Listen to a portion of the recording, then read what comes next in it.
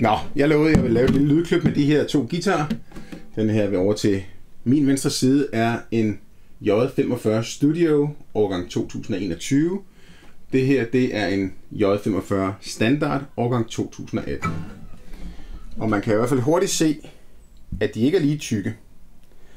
Og den opmærksomme ser vi også har set, at det er nogle forskellige materialer, de er bygget af. Den her har øh, mahoni back and sides, den her har rosewood back and sides. Så det er måske ikke nogen stor overraskelse, at de lyder forskelligt, og det gør de. Men jeg tænkte, at jeg lige ville komme med et, øh, nogle lydklip, så man kunne høre, hvad det er, der gør forskellen.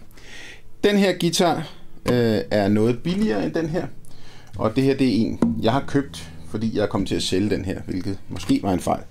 Men hvor med alting er, jeg har for nylig haft den her med ud at spille, og jeg var meget, meget tilfreds. Jeg skal sige, at de er begge to strenget op med Gibson-strenge, øh, deres Premium Master Build serie, men øh, den her er strenget op med 12'ere, og den her er strenget op med 11'ere. Så der er i hvert fald en forskel der. Øh, jeg tror måske godt, den her kunne have tålt at være strenget op med 12'ere også. Begge guitarer gør det, som jeg synes det er det allervigtigste ved en J45. De har den der gode strumming-klang, men uden at blive meget boomy, som jeg godt kan opfatte øh, sådan en Martin Dreadnought bliver. Jeg synes, den bliver meget nemt meget stor i bunden og ustyrlig i bunden. De har også øh, den anden kvalitet, som jeg, øh, eller det ved jeg i hvert fald, den her har. Jeg ved faktisk ikke så meget om, om den her har det endnu.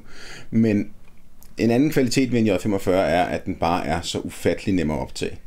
Man sætter stort set bare en mikrofon foran den, og så lyder det som alle akustiske guitarer nogensinde har gjort på plader. Øhm, mikrofonvejs, jeg tænkte vi skulle prøve lidt forskelligt. Så jeg har her en Warm Audio VA14. Så har jeg her en Cascade X15 Stereo Ribbon Mic. Det er min absolut yndlingsmikrofon at optage akustisk med.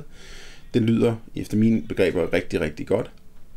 Helt nede bag ved kameraet, så står der et stereo sæt af øhm, T-Bone øh, Toman mikrofoner. De koster 600 kroner for et stereo-sæt. Øh, billig, billig, billig, men jeg synes faktisk, de lyder ret hederligt.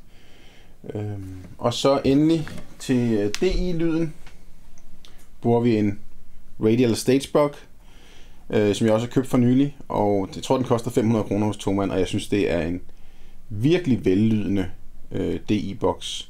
Så vi kommer til at høre begge guitarer med DI-box, VA14, Cascade, stereoset, alt sammen, for at få et indtryk af, øh, hvordan øh, de, forskellige, de to guitarer lyder i forhold til hinanden.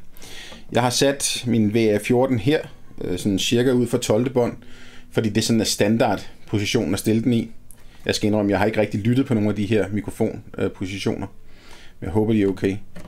Øhm, normalt kan jeg faktisk bedre lide at have min VA14 stående herop, herover, sådan så den micer kassen mere end den micer strengene.